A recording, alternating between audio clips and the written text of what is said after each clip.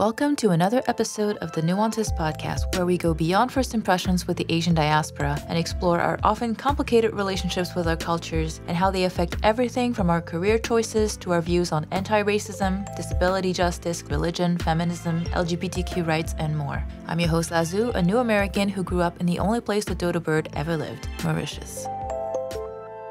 No terms to define today, so let's get with our conversation with Samantha. If you want to watch the video, you can go to nuancespod.com. And in the show notes for this episode, there is the full video, and the video will include the photos of the dolls. Our guest today is Samantha Ong. Samantha is an entrepreneur, business owner, and a mother to two young girls based in Toronto, Canada. Samantha founded Joeydolls in response to the rise in anti Asian hate around the world during the pandemic lockdowns. Her goal is to help young children feel proud of their heritage and feel valued in society by creating diverse Asian cultural dolls that celebrate every culture. As the founder and CEO of Joeydolls, Samantha is on a mission to provide a representation of Asian culture in a cute and playful way and also deconstruct both racism and colorism. Joeydolls are designed to be a child's friend for life with soft, cuddly bodies and culturally accurate attire. She hopes the dolls will help create more awareness and education around Asian culture and diversity. Samantha, thank you so much for being on the show today. Oh, thank you so much for having me, Sherry. so let's start from the beginning. Where did you grow up and what was that like culturally? I was born in Malaysia, but my parents moved to Australia when I was really young. I was a baby. So I grew up in Australia in 80s, 90s. I was very much a minority there. I remember playing with blonde dolls and that was all that was out there seeing only like not people that look like me on TV and all of that. And I just remember thinking vividly, looking at my classmates, going, they're so lucky to look the way they are.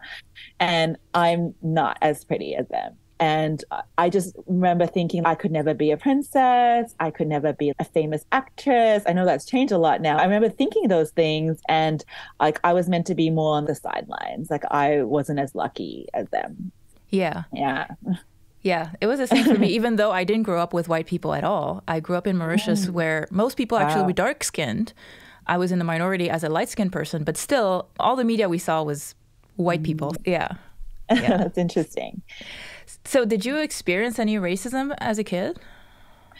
So I remember first grade being called like ching chong, and even as children, they know that those are like racially those like sorts of sayings uh, to do with my race but not really realizing how that would affect me. And at the time, I didn't really know how to take it as well. But I just knew that, okay, then so they see me as the other, not like everyone else. Yeah. And that's how I saw myself growing up that I was always the other, that I never really fit in, that I wasn't really like everyone else, or that I could even just pursue the same things as other people. I felt like I was Asian and then I had to fit that Asian mold and become what Asians do, like a doctor or a lawyer. Yeah. And in terms of careers, I didn't really feel like I had the freedom. Did you have an Asian community where you were growing up, or was it a majority white community? Yeah, so I think when I was in primary school, as in elementary school, that's what it's called in Australia, it was mainly white people. And then when I went to a school, my high school, it was primarily white people, but there was like a bigger group of Asian girls there that I could mix with. But still, we were always separated from everyone else. Mm. So even though they were my friends and I felt like, oh, we live in this multicultural, I still felt like we were viewed very differently. Yeah. Yeah.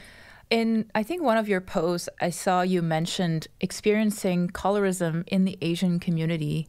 Can you right. talk a little bit about that? Yeah. So I think growing up, I didn't really know what that meant for me. And it was really when I was pregnant. My husband's Korean. And so when I was pregnant, people would say, Oh, I really hope that your daughter is born with your husband's fair skin. And I was like, what's wrong with my skin? And then that made me feel like I wasn't good enough. And this like sort of Asian beauty standards where I have double eyelids. And then there's like, oh, I hope that she's born with my double eyelids and not hit like, you know, this pick and choosing and then not just welcoming her as she is, no matter how she's born, who she is, or who even she is in the inside. That really mattered first and foremost. But just these tropes that, you know, that this is better or Yeah. Pearlized skin is somehow more beautiful than what I have. and it really forced me to think I don't want my daughter to grow up thinking that she has to be a certain way to be viewed beautiful. And that's why I really wanted to have like different skin tones. When I created these dolls, I really wish that I could do more skin tones to show them more diversity and really celebrate them.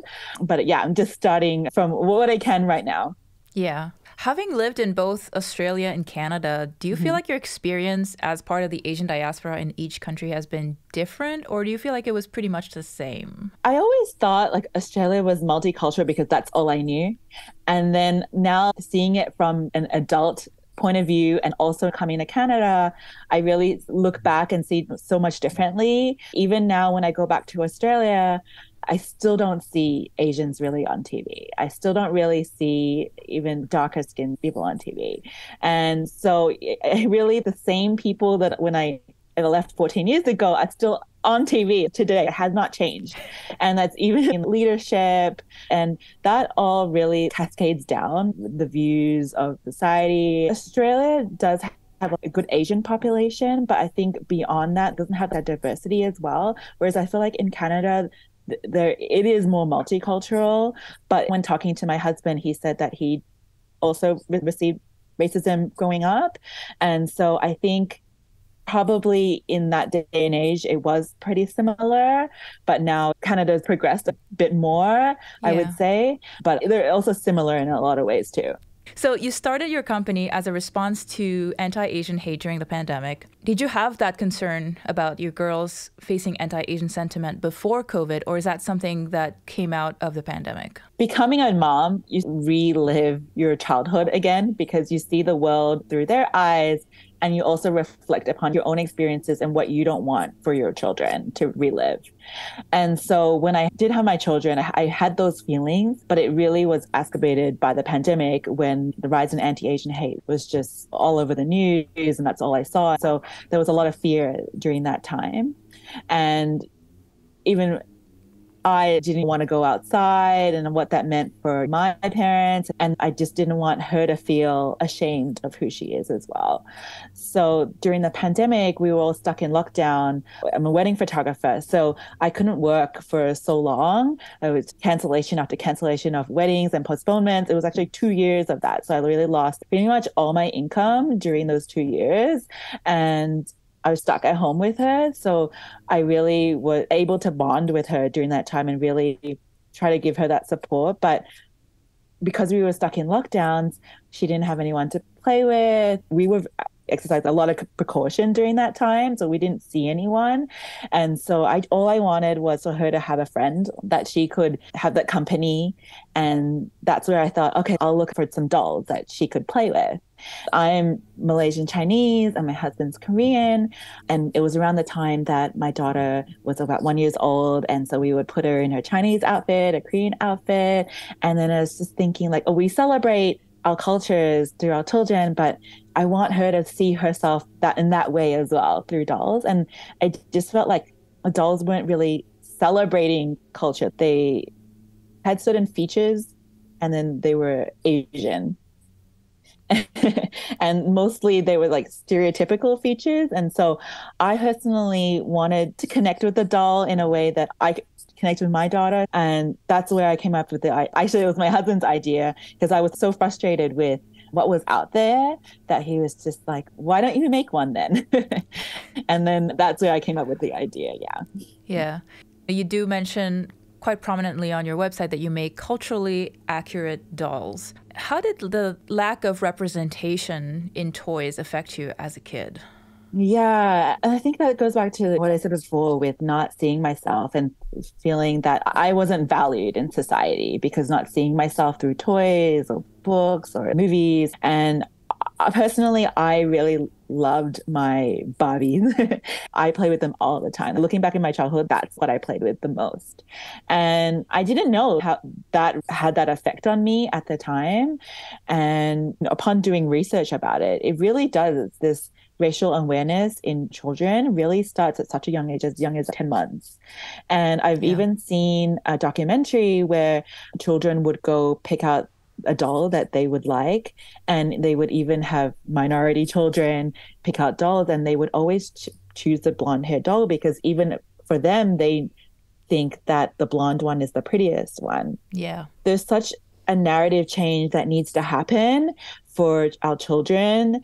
And what a different life that I could have had if I had that self esteem and that co- confidence in myself younger. I've grown so much. Now I appreciate my culture so much and my background, but I've had to come such a long way uh, into my adulthood to come around that way. And even looking back, I remember telling my dad, speak English and being ashamed to be Asian. And so I really hope that we can skip a little bit of that and be proud of who we are and proud of where we've come from and our culture.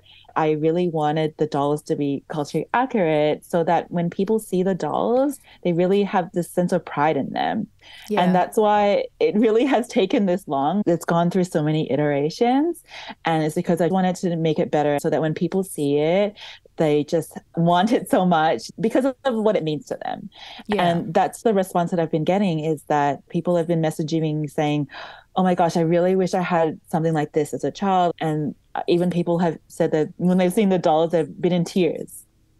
To have that sort of emotional reaction just proves to me that these dolls are so needed. There has been such a gap in the industry for so long. Yeah. So, mm. what was the process like to get those to become culturally accurate? Did you have consultants that you worked with? Yeah. So, it was a lot of research initially. Like, initially I just wanted to get out the dolls like ASAP. So I just did what I thought was online. And then I thought, I don't feel comfortable with this. I know that I'm not an expert in all of this. I really tried to reach out to my community first, like my friends and family, what they thought. And then when I pushed out illustrations of them, then it was really good because I got so much feedback from our followers and I started collecting email subscribers and then they were so happy to provide feedback. And then I tried to find also some fashion designers online as well so that I could consult with them. But mostly has been through the community, which was really awesome. It was so nice to have that community feedback to feel like it was a team effort kind of thing. yeah. Given that you spent so much time on developing these dolls, I wanted to give you an opportunity to talk about the different dolls and their outfits. Mm-hmm. Our Chinese doll has a cheongsam or qipao, and she even has the handmade Chinese knots on them. And it was so difficult to make those because they were so small, but I really tried so hard to get them. And they even have these Chinese flowers, and we made them red and gold for good luck. And then we have the Filipina doll. She's wearing a Filipina dress. She has the beautiful embroidery on her. We even have the traditional sampaguita flower in her hair. That's the national flower of the Philippines. Also, again, tried so hard to make sure the sleeves were just like the Filipina dress. We also have the Vietnamese doll. I'm butchering some of the, the pronunciations in these, but she has the ao dai and I used the mai flower on the dress and it's embroidered as well on the dress. She's also wearing this traditional Vietnamese headpiece as well, making sure all of them were consistent and everything was really hard, but was important for me. And then we have Japanese doll. She's wearing a sakura kimono. She has a floral kanzashi. This one was also really difficult. The headpiece that I had for her, just in terms of safety, like it was small parts. I wanted the dolls to be safe for young children. So we have them safety tested for zero plus. So the small pots was such a big thing, and the kanzashi, the way that they're made, is such such a delicate piece. So I didn't want them to come off, and so we tried so hard to get this piece, and I'm very proud we've come to this day. And then we also have the Korean doll. She's wearing a pastel hanbok and she even has different colored sleeves. She has the hair piece on the back and the front. Like, I don't know the name in Korean. I've actually looked it up several times, but some people just call it like the little pumpkin on the top of her head. There's a little charm on her skirt for good luck as well. so there's lots of little details in each of the dolls, as you can see, and making each one individually was quite the process. And there's, yes, there's that Indian doll. She's wearing a two piece lehenga. And so it's a gold top and a pink skirt. She has this gold motif detailing on it and like a sash that goes around on her shoulder. Yeah. yeah. Have you considered making dolls with Western outfits? And if so, why or why not? Yeah. So actually, when I first came up with the concept, I wanted cultural dolls and I wanted everyday outfits, like modern or Western clothing. And then I thought to myself, these are cute and everything, but I felt that people would connect more to the cultural outfits because it was just not out there. Mm-hmm. And so that's where I went with that route. Of course, I wanted to make custom dolls and have all sorts of options. And really, my initial concept was like you could get a Chinese doll and you could pick whatever skin tone. So changing that narrative that certain skin tones for certain ethnicities. Yeah. But of course, with production, there's minimum order quantities. And if I wanted to get the dolls at a certain price point, then I had to do away with some of my ideas. And I hope that I can still do them in the future. Because I was also off work for two years. I really had very little investment to put into this. I started off my Instagram account with zero followers, zero email subscribers, and I didn't know if anyone would like this idea or be interested. I was just trying to do it on a budget at the time. And so now seeing that there has been this demand for it, I hope that I can do it in the future. Yeah, awesome. Mm-hmm. Do you hope to reach non Asian households as well, or is that not a focus? Yeah, no, this is really important because during the pandemic, when there was all these racial slurs and things, it was mainly directed the, from the virus coming from China. And so there was this misconception that Asians are from China, right? Also, traveling with my husband, We've been a couple of places and they always do the slanty eyes at my husband. And even though he's Korean, they just say, oh, you're from China. I really wanted these dolls to provide more education and awareness of Asian diversity. There's so many different countries and cultures. I wanted these dolls to be a starting point of education. What is one big challenge that you've overcome on this journey that you're particularly proud of? When I was first starting out this business, there was a lot of doubts internally. But then there was also external doubts where people were like, oh, I don't know if you should get into this. There's a lot to know, there's a lot to do. And I don't think you should do this.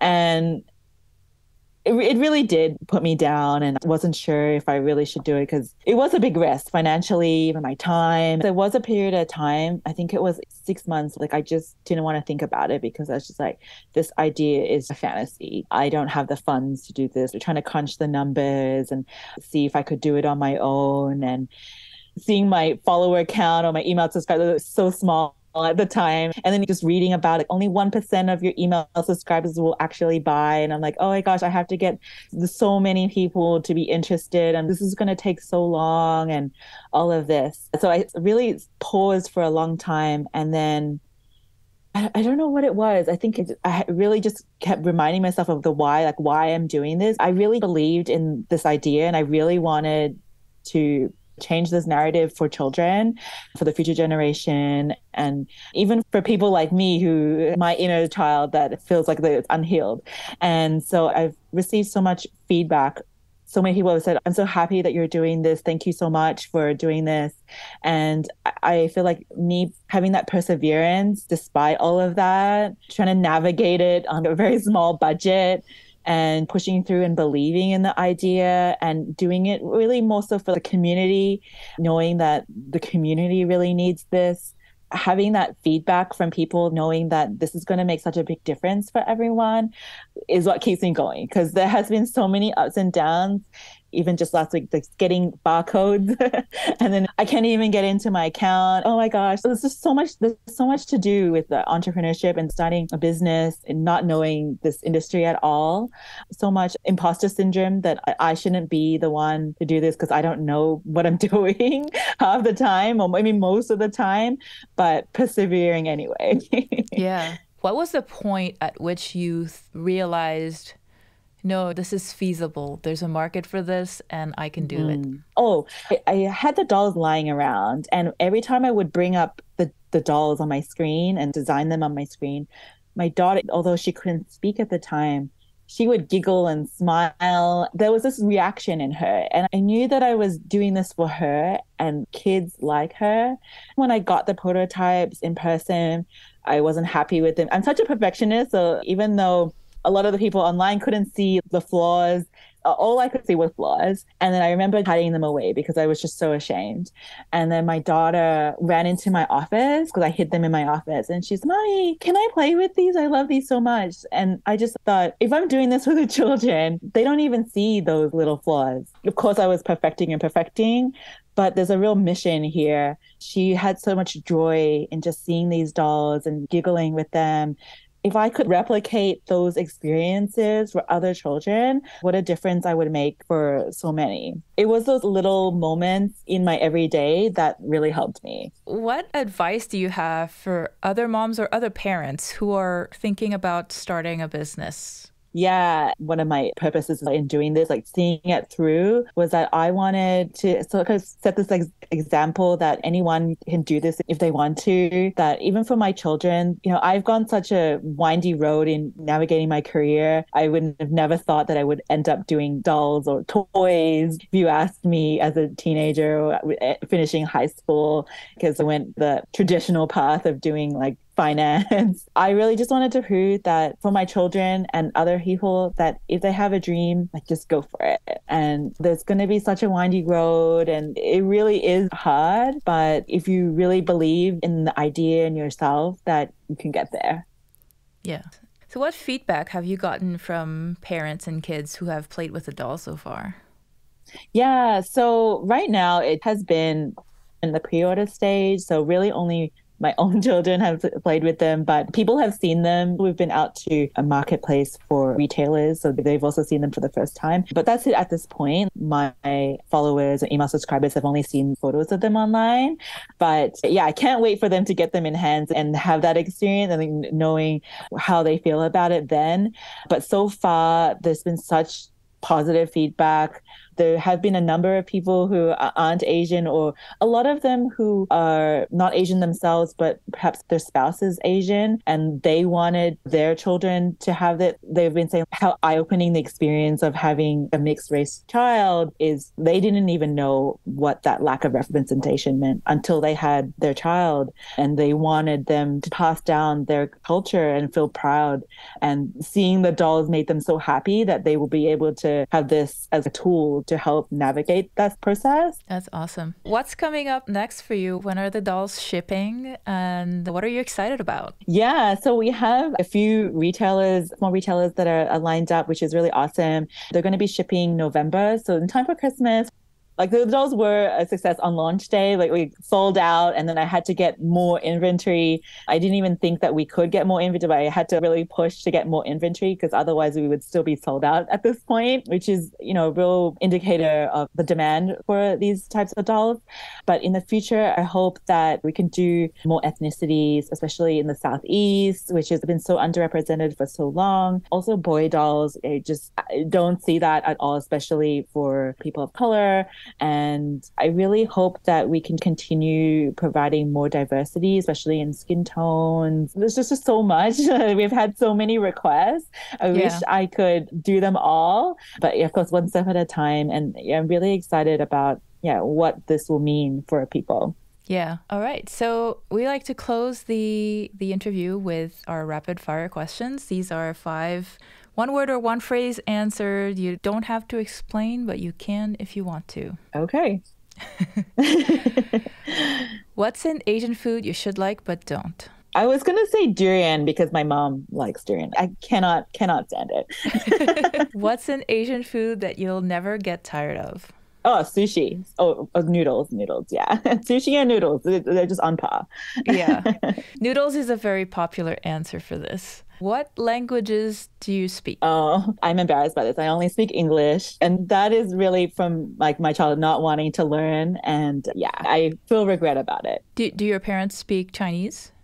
My mom speaks so many languages. I wish she just taught me all of them. But at home, she speaks Hokkien to my dad and she speaks it to us. So I understand it. And then they know Malay, being from Malaysia. And then they know Cantonese and then they know Mandarin. That's a lot already. And having me not know, I can only understand Hokkien and the little pieces of Mandarin, and but not like a full, I can't speak any. Yeah. Did you go back to Malaysia a lot during your childhood or? Here and there, I'd say I've been back about four or five times, not like super often, yeah. but I found that a lot of my Malaysian friends in Australia also only speak English because Yeah. I think in Malaysia it's like very English is very dominant as well. So I think that there was this they just felt like we didn't need to know. But I do have this regret. Like I actually am learning Mandarin through my daughter, like trying to teach her and then teaching myself. Oh, wow. yeah. Actually, the episode that just aired last week, we were talking about how in the US, specifically in the 90s, there was a push for parents to not teach their kids whatever cultural language. Wow. And, and the reasoning that was being promoted by medical professionals was that if you teach your kids more than one language, they will never be fully fluent in either one. Wow. And so that scared a lot of Asian parents. They're like, no, I want my kid to be fully fluent, in English. So they only taught them English, wouldn't teach them anything. And of course, now yes. people my age, we don't speak anything.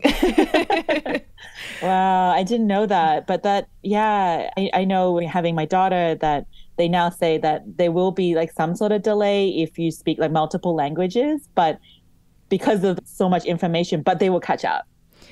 yeah. Yeah. I don't speak any Asian language, but because I grew up in Mauritius, we were forced to learn English and French at the same time. Mm-hmm. But then our everyday language was Creole. Mm. And so we grew up automatically trilingual. And then most of the other people learned some other language. For mm-hmm. some reason, the Chinese kids didn't want to learn Chinese, but the Indian Wow. kids learned Hindi, Urdu, Marathi, something else. We were, I don't know why we didn't, but we did. Yeah, no, that's interesting. So fear not. Multilingualism is totally fine. They will have no problem. And actually, on one of our previous episodes in season one with Dr. Chung Fat Yim, who's also from Toronto, we Oh, talked about how being multilingual actually improves your performance. Your brain structure mm. changes when you learn multiple languages. And it actually helps you perform better in non language related tasks too that are mm-hmm. like associated with creativity and some other stuff. So Oh. it's good to learn other languages. Yeah, oh, we missed out back then, but we can still learn. Yeah, and they actually did studies on older adults. And even though mm-hmm. they were learning as adults, they still got the benefits of mm. multilingualism as long as they're consistently learning and trying to maintain fluency in that language. I bet. Oh, wow. All right, what's the most unexpected thing that you learned throughout this journey? I knew there was going to be so much to do. Like, there's going to be so many regulations to go through, but I still think there's even more than I thought. there was just so many hoops to jump through. In even getting to the production stage, I was just like, okay, once I get to the production stage, uh, all is done. I all I have to do is ship them out. Nope. there's so much to do. So I think that's it. Yeah. And finally, what is your favorite example of representation that you've seen so far for yourself? Definitely Michelle Yeoh. She's Malaysian as well. And oh my goodness, so many awards recently. Oh gosh, proving to the world that we can do it. Yeah. It's going to make such a big difference for future generations. Because I mentioned before, I thought like I couldn't get there for myself. I couldn't be an actress or a princess. She's been able to break so many barriers to get to where she is. Yeah, for sure. That was definitely a big moment for all of mm-hmm. us. When you were talking about playing with Barbies and not seeing yourself represented as a kid, that was the same for me. Even though I was not surrounded by white people, I was mm-hmm. surrounded by white media, white toys, white everything. And I remember being like four years old and I told my mom, I want to have blonde hair and blue eyes. Right. I never liked drinking milk for some reason. Me neither. The cup of milk was pushed on us, but I did not like it. So my mom was like, maybe if you drink your milk, it it might happen. And I tried it for like one day and I'm like, nah, it's not worth it. So funny. I thought you were going to get into it, but no. No, it didn't work. I'm like, being blonde isn't worth it. It's too much work. Yeah. Oh man. Do you remember like a time where that changed for you, like that desire to be blonde and blue eyed? Not as a kid. I don't think I had a very strong desire, but I think I mm. always felt like the people who were born blonde and blue eyed were lucky, just like mm, you were saying, Right. right? I just felt like they were prettier. Mm-hmm. I'll never be as pretty, mm-hmm. and I could never see myself as pretty. And that's something that takes a lifetime to undo. I don't hate myself. Like, I don't dislike me but you're just so trained to perceive certain features as beautiful Yes, yes. that it's hard. There's a lot of body positivity out there. and You should see yourself as beautiful and tell yourself you're beautiful and all of that stuff. Mm-hmm. Yeah. Easy to say, but not easy to feel. Right. know? Exactly. Yeah. It's a work in progress. There's definitely better days and not so good days. you know what I mean? It's not Yeah. something that you even though you know in your head that it doesn't make any sense, that it's a social construct and that it's mm-hmm. not founded in any fact whatsoever, Yeah. it's just ingrained in you. So Yeah. it takes a long time to untangle that from the way you think. Yeah, I think we've come a long way, but there's still so much to go. Even just seeing on social media what's being pushed out there. Yeah, there's a long way to go in terms of like beauty standards. Yeah. All right. Before we let you go, do you want to quickly tell people where to find you, your website? Uh, my website is www.joeydolls.com. That's J O E Y D O L L S. And then we're Joeydolls on Instagram as well as Facebook, but also on TikTok, but I don't post there that much. Uh, that's Joeydolls Co. All right. Thank you so much for doing the show today. Ah, thank you so much for having me and sharing our story. Thank you. Here are our takeaways for today's episode. Number one, better done than perfect. At some point, perfectionism gets in the way of positive impact that you could already be having in the community. Number two, entrepreneurship keeps you on your toes, no matter how prepared. So, might as well jump in if you have an idea that you really believe in. Number three, kids internalize concepts of race and belonging as early as 10 months old. So, feeling represented as early as possible is important. Number four, telling expecting parents that you hope their kids turn out a certain way or have certain physical features is really hurtful. So if you find somebody who's making that comment, gently remind them that maybe that's not a good idea. And finally, colorism in Asian culture is very real. Again, if you see this in your family, gently remind them that the child will be loved and welcome no matter what they look like, what shade they are, and that is the final word. As with every week, definitions, takeaways, links mentioned, and the full video and transcript are available in the show notes for this episode at nuancespod.com. That's it for today. Next week, we'll talk to Charles Levan, a music industry executive who started his career at Capitol Records, marketing Al Green's greatest hits album, and is now running his own company where he helps independent artists get their music in film and TV and other media. If you enjoy this podcast, I want to take the opportunity to remind you that there are many ways in which you can show your support for free or financially. All you have to do is go to nuancespod.com slash support. There's also this really fun way of getting in touch, which is leaving me a voicemail. You have 60 seconds to leave me a message, and I think it would be really fun to maybe play a few of them in upcoming episodes.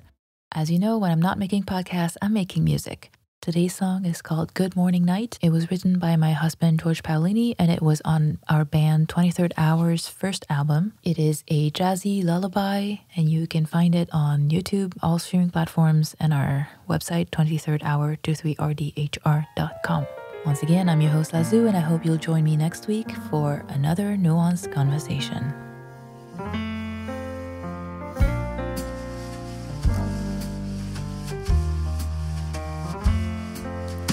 Good morning, night. Good night, day. Tuck the sun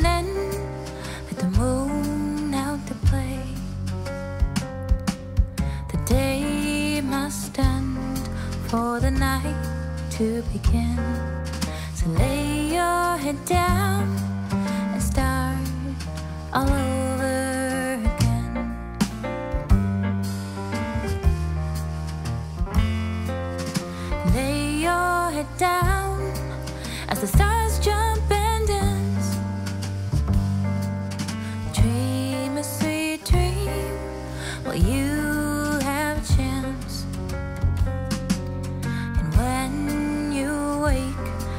you might hear some slight sighs as the last twinkling stars in the sky close their